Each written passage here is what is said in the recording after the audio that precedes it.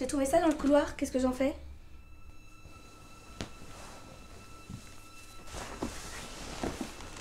Ouh, j'en fais quoi? Et quand tu dis que tu l'as trouvé, tu l'as trouvé où? Bah dans le couloir, mais euh, c'est qu'un coffre. hein.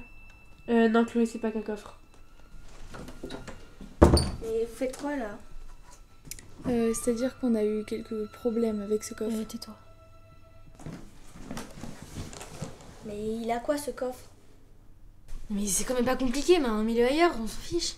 Bah maintenant que tu l'as dans la main, tu vas le mettre ailleurs toi-même. Fous-le dehors. Elle a raison. Sors-le. Bon.